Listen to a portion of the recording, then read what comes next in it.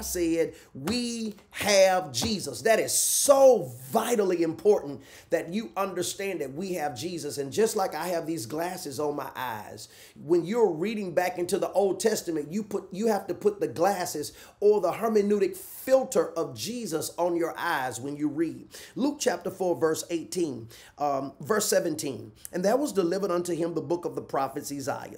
And when he had opened the book, he found the place where it was written, The Spirit of the Lord is upon me, because he have anointed me to preach the gospel to the poor. He have sent me, now this is Jesus. He's anointed me to preach the gospel to the poor. That's the power of God unto salvation. So why would he put poverty on somebody to grow when he's been sent to preach the gospel, the power of God unto salvation to the poor? He have sent me to heal the brokenhearted. So why would he put sickness on the person when he's been sent to heal?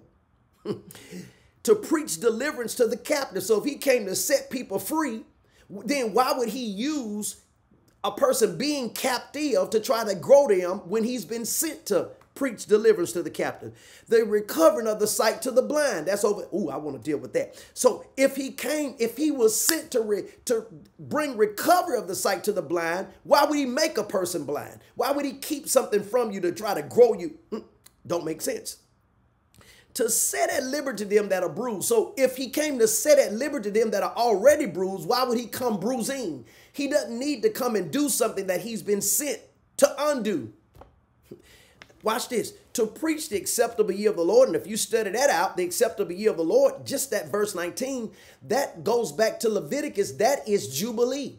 So now you got to remember now in Jubilee, all debts were canceled. Even a sickness obeyed Jubilee. Sick, sick people got healed. Anything that was lost was recovered. Now I want to thank you think about that. Jesus came to preach the acceptable year of the Lord. So Jubilee now is not a season. Jubilee is a person that not only you dwell in, but he also Jubilee dwells on the inside of you. Well, it would be crazy for him to put debt on me when Jubilee is in me. Matter of fact, that would be too contrasted. Remember, God is always on the side of his word. Now watch this. And he closed the book. Now stay right there. That's Luke chapter 4, verse 28. Let's go and go back to uh, Isaiah and see what Jesus read, and let's see why he closed the book right there.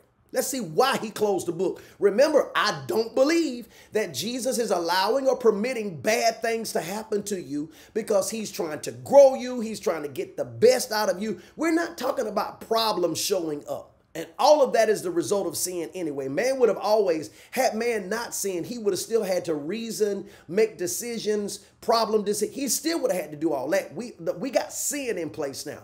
I don't believe that he allows or permits sin or Satan to do stuff to you so he can grow you and get the best out of you. I just don't believe it. Now, if you do, fine. But now let's see. Isaiah chapter 61, let's look at verse 1.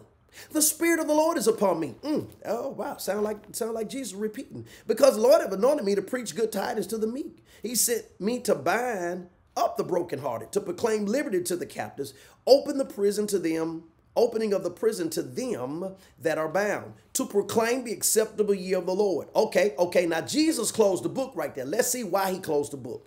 Because the next part of this verse says, and the day of vengeance of our God. Wait a minute wait a minute. Jesus, he didn't repeat that. When Jesus got to that part of Isaiah, he closed the book. You know why? Because he would take God's vengeance and wrath upon him.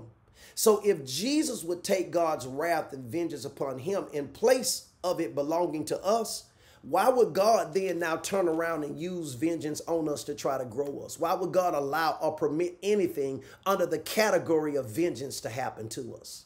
That means that he will be saying, forget what Jesus did, forget about the cross, and I'm going to do it anyway. And even in natural law, you can't try a man twice for the same crime. God himself would be crucifying Jesus afresh.